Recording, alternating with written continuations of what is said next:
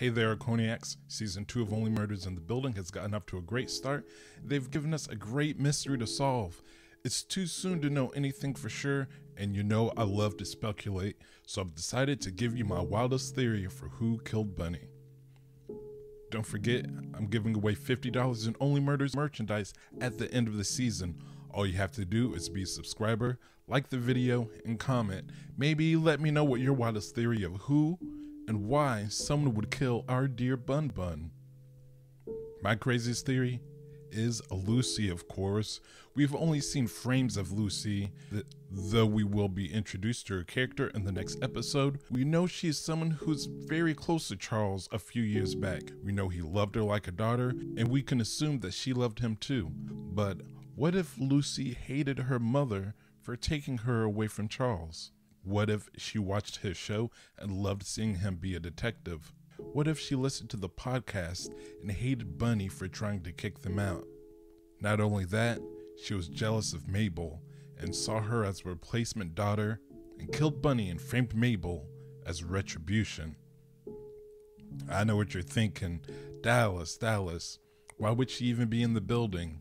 Well, she might visit the Arconia to see Arnoff's child.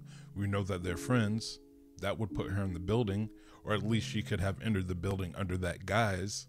And as I suspected from the trailer, it appears that Lucy would be the person showing our podcasters that there are hidden passageways in the building. I thought that it would make sense that a little girl would be curious and find these hidden doors in Charles' apartment and play in them during her time living with him.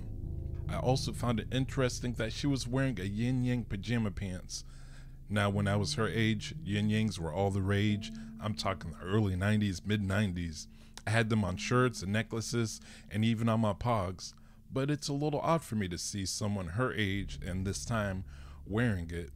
Maybe it's a reference to her believing in balance, you know, the good and bad and everything, and her killing Bunny is an act to keep that balance. In the frames, we do see of her pulling out the knife from the block that I'm not even sure belongs to Charles we see a knife block here that's all black. This is the one I believe I saw last season, but these again are multicolored. Maybe it's an attempt to justify her fingerprints on the knife. Now I know the killer wore gloves, but they didn't pull the knife out of nowhere. Was this knife, or did this knife belong to the killer beforehand? Lucy is introduced, it seems, kicking the door to Charles' apartment. I'm guessing she's appearing, bag in hand, and kicks the door as her hands are full.